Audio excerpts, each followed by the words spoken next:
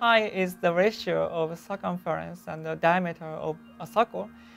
It begins with 3.1415 and it goes forever.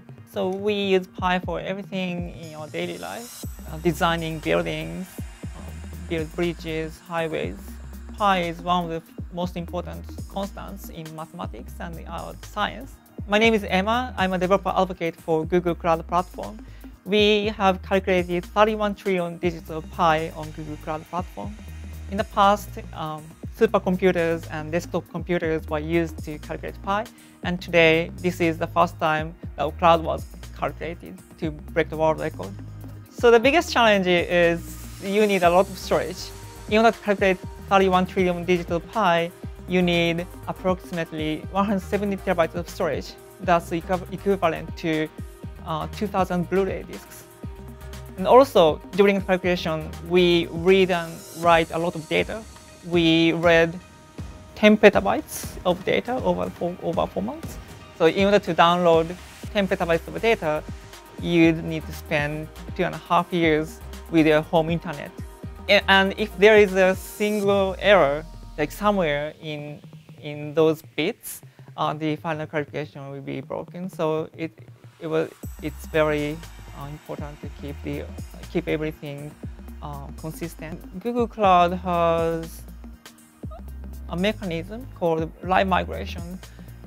When there is early signs of hardware failure or when you need to upgrade the underlying operating system, Google Cloud moves the virtual machine from one host to a new host so that um, your application won't get interrupted by hardware failures or underlying software maintenance. When I was a kid, I I had no idea that I would one one day like break the world record.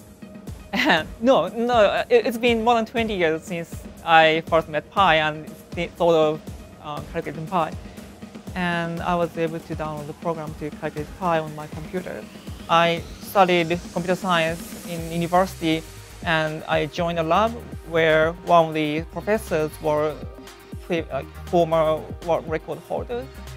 He said, from engineering standpoint, it's not really useful to have trillions of digital pi because you probably need up to 20, 30 digits to send workers to space, and you won't need more than that. Um, but, but, from computer, computer uh, or software standpoint, it's really interesting to do more digits.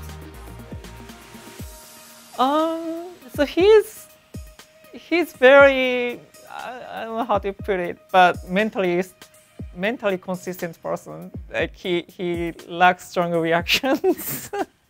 um, I think they would be excited